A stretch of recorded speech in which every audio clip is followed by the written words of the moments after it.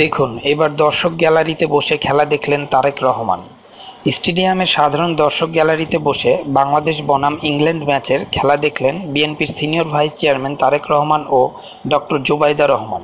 লন্ডনের ওভাল স্টেডিয়ামে বাংলাদেশের সাথে ইংল্যান্ডের ক্রিকেট ম্যাচ।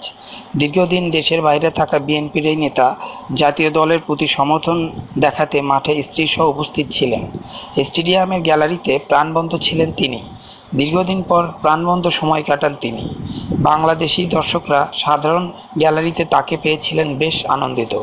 আমার এই চ্যানেল হতে আপনারা যদি আরও লেটেস্ট নিউজ পেতে চান, তাহলে অবশ্যই সাবস্ক্রাইবের মাধ্যমে আমার সঙ্গে থাকুন। ধন্যবাদ সবাইকে। Yeah.